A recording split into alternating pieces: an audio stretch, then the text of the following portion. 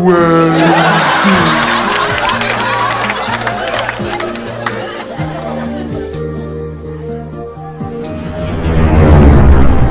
Welcome to the motherfucking relay. where We're covering today's top boxing news. Okay, I'm sure most of you have heard about this already. We'll start with this. Plant. We're gonna get to Canelo. He's got fights left on his contract. The article reads The unbeaten super middleweight titleist was barely minutes removed from a 10th round stoppage of mandatory challenger Vincent Feigenbutz. When approached with the possibility of facing Saul Canelo Alvarez, it slightly overshadowed an otherwise festive homecoming with Ashland City's plant enjoying a Fox televised headliner live from Bridgestone Arena in Nashville, Tennessee. The offer, should Plant accept, would force him to abandon plans for a longer than normal post fight break from training and rush into a proposed May 2nd title defense versus the most lucrative attraction in the North American boxing market. That's if he were to accept an immediate offer, although he can't quite understand the need to rush into such a fight.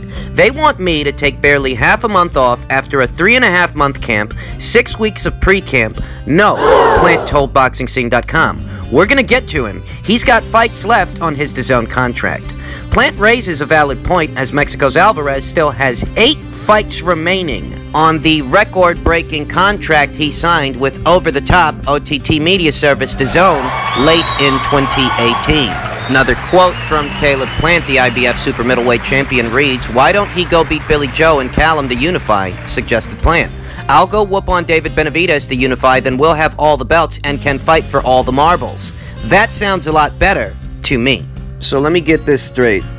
The biggest name, anywhere from 160 to 168 to 175, offers you the opportunity to fight him May in 2nd. your very next fight, and you walk away because you say you don't have enough time to prepare Is that right? that from last weekend's fight till May 2nd, that is not enough time for you to ready yourself for a Canelo Alvarez fight. Is that right? Ladies and gentlemen, I can only tell you what I think, and this is what I think. I think that's a lot of bullshit.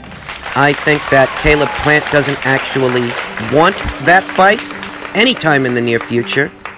I think that he is seeking refuge behind the politics of boxing because he himself cited Canelo Alvarez's contract, more or less, that he's still got several fights left on that DAZN commitment, that DAZN contract, and that he would quote unquote get to him once that contract is over. But what kind of a time frame are we looking at? Huh? If you're waiting for Canelo Alvarez's engagement with DAZN to be over before you decide to challenge him, how many fights, how many years are we talking about? Huh? Okay, Canelo Alvarez still has eight fights left on that contract. And Canelo Alvarez is a guy who fights about uh, two times a year. So eight divided by two. So if he's got eight fights left on the contract that you're waiting to expire, and he fights about two times a year, you're basically saying you're gonna wait another four years. Another four years before you decide to fight that guy? Is that what the plan is? Or is the plan for you guys to be able to get Canelo to cross over to your side of things, even though he's a bigger marquee fighter than anybody you've got over there? That tells me that you don't want that fight, because if you did, you never would have brought that shit up. You're not gonna bring up this guy's DAZN contract as some kind of reason that you guys should fight later rather than sooner. No, sir. If you wanted that fight, you jump at the chance, jump at the opportunity to have it.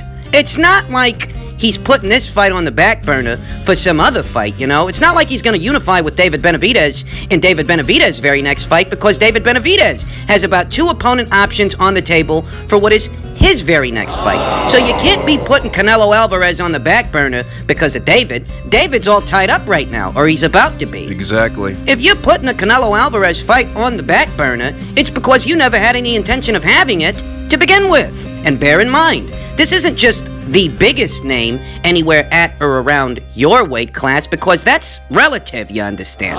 This is the biggest name on this side of the world. Not just in your weight class, not just where you fight, but this is the biggest name in the sport anywhere on this side of the globe. And that's what you're walking away from because apparently from last weekend until May, that's not enough time for you to prepare.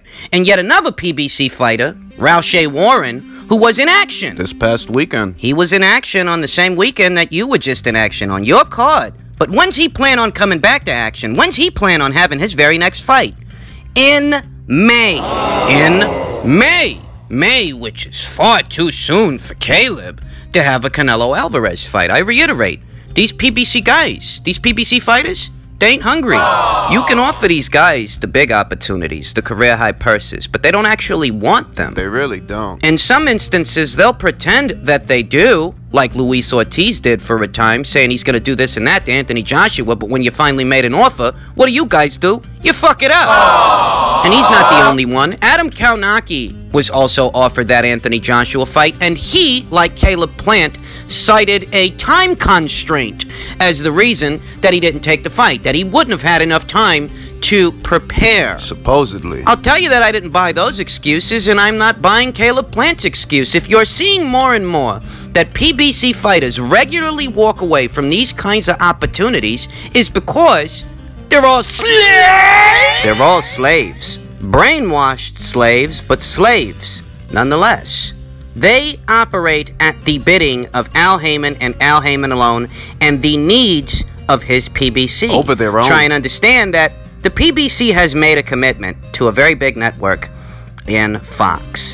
And they can't have what is to be the content promised to Fox, the content coming in the form of PBC's fighters. They can't have that content going somewhere else to be content for someone else. So they'll stop a guy like a Caleb Plant from taking on a Canelo Alvarez. They'll stop a guy like a Adam Kownacki or a Luis Ortiz because they've got plans for those fighters. And even if those plans don't yield the same dollar amounts that these other opportunities do, they don't care.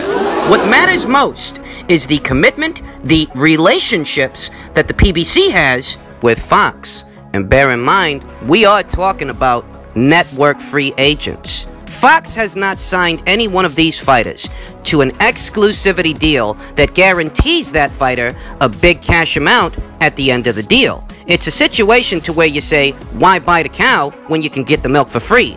Al Haymon is making sure that you're getting the milk. No strings. And it does come at the cost of opportunities for the cow. The cow being the fighter. You got a bunch of guys, they're being offered bigger, more lucrative opportunities than Al Haymon and, and Fox are providing.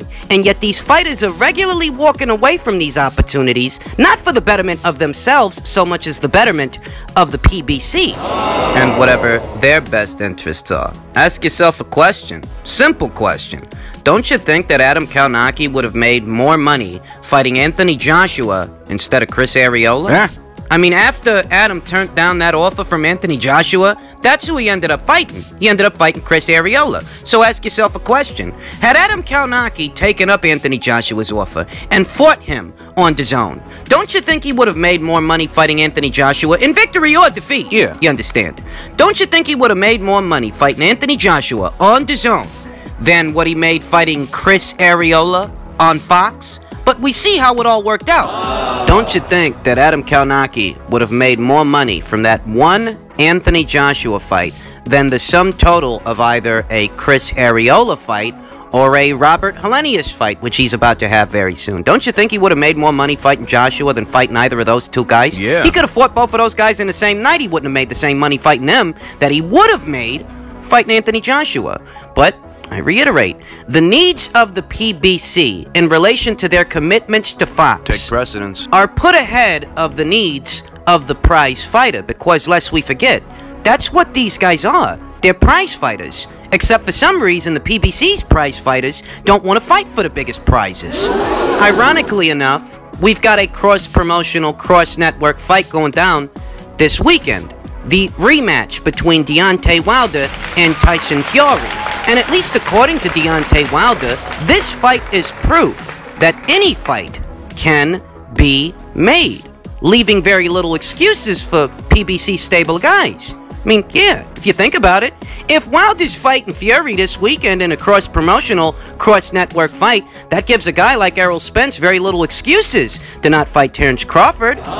Gives a guy like Caleb Plant very little excuses to not fight Canelo Alvarez. That gives a guy like Leo Santa Cruz, who just became a champion at 130 pounds.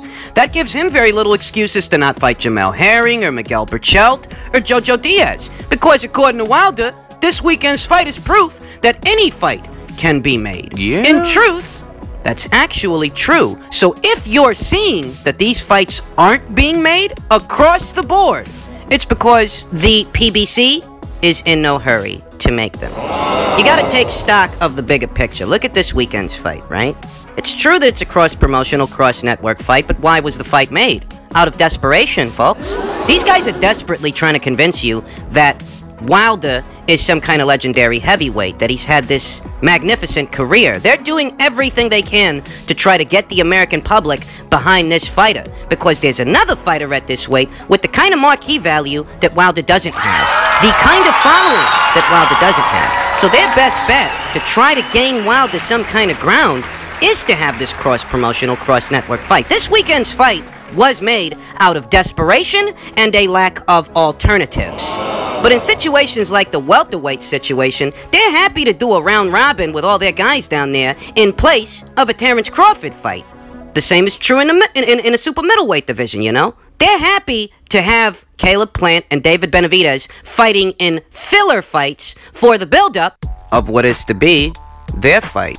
Caleb Plant has already had enough showcase fights as it is. I mean, you just fought two no-hopers in Mike Lee and Vincent Feigenbutz. I'm not trying to slight those fighters. I'm just giving it to you straight. Nobody gave those two guys a shot in the dark to win the fight against Caleb Plant. And when the fights took place, that's what you saw. That these guys, Forget about it. they're out of their depth, you know? And Caleb has already fought two of those kinds of fighters.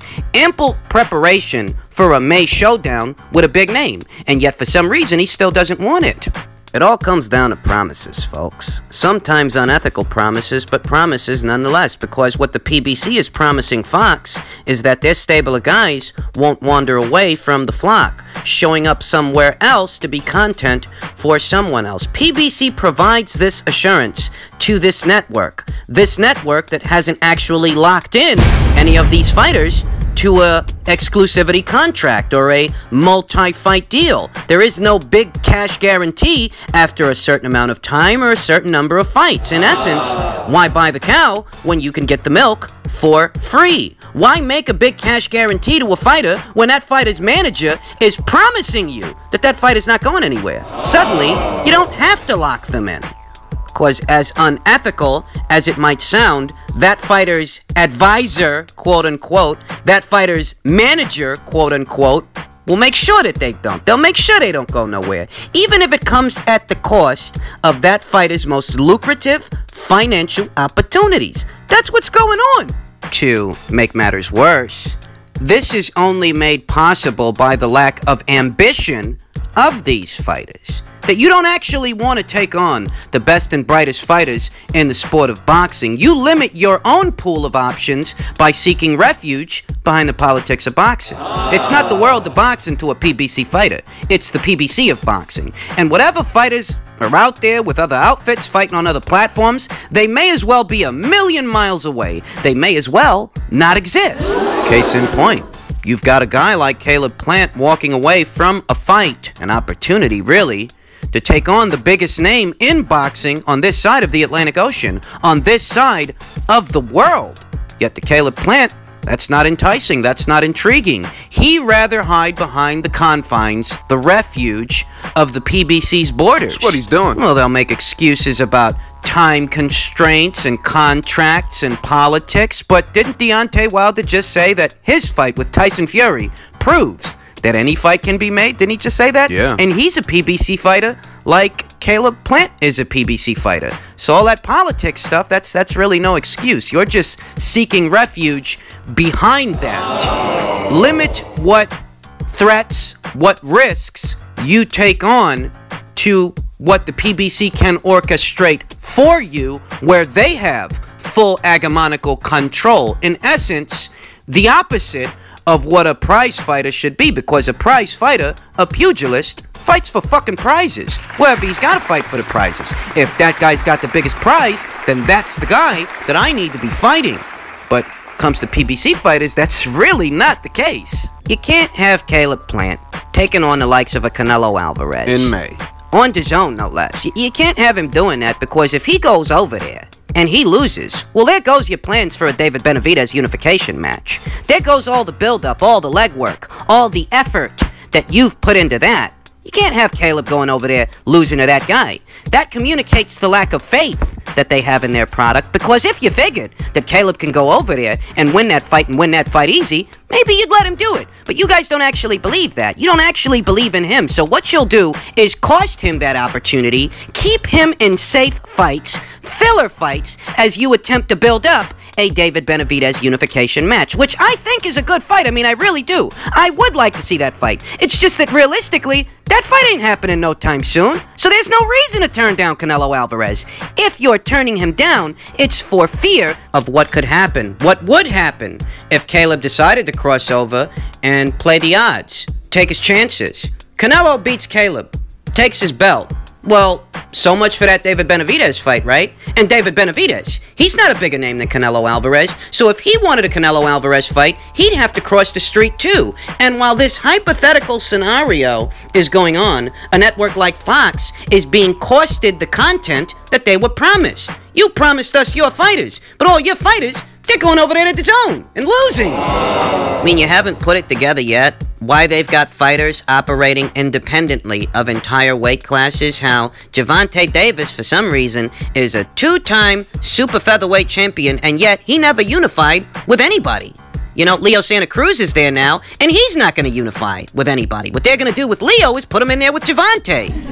Continue to isolate their fighters from the rest of the world of boxing because they can't afford to have those fighters going somewhere else being content for someone else. They just offered Jermall Charlo a vast sum of money that he doesn't bring in on his own to fight the likes of a Demetrius Andrade, and he turned it down to fight who? Chris Eubank? I mean, is that the plan? Is that the alternative? Is that it? What do you think?